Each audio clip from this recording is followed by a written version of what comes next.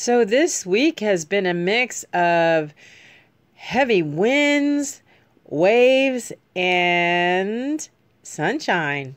But the weather's been cold, so make sure you layer up if you're coming for the weekend. There are a few events that are worth noting.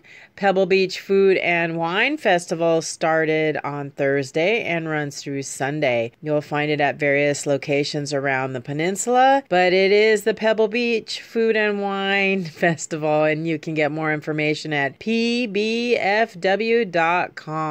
Also happening is the Sea Otter Classic for those bicyclists and bicycle enthusiasts. You can find it over at the WeatherTech Raceway in Laguna. Laguna Seca. It's running from 7 a.m. to 7 p.m. More information is available at seaotterclassic.com. If you're a history buff, you might want to check out the open house tours at the Monterey Public Library California History Room. Proves to be pretty interesting. If you're looking for quirky history, this is the location. For more information, you can visit monterey.org forward slash library. Now, my pick for this weekend is the Big Sur Land Trust Race for Open Space. That's happening on Saturday from 6 a.m. to 11. You can get more information at bigsurlandtrust.org. Now, last but not least, is a notable event on Saturday. You'll remember if you listened last week that I talked about Point Lobos. Well, from 10 to 3, there is Underwater Parks Day, and there's a lot happening at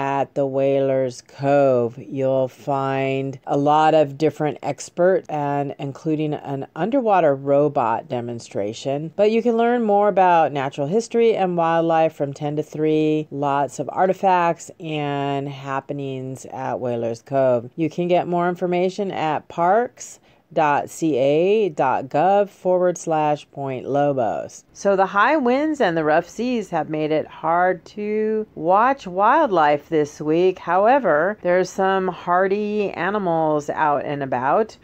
But I did want to mention that the harbor seals are full swing in pup season. So we have a few new seal pups down by Hopkins Marine Station and in the fenced off area down into Pacific Grove. So seal pups mature pretty fast. In about six weeks, they're out and about and doing their things.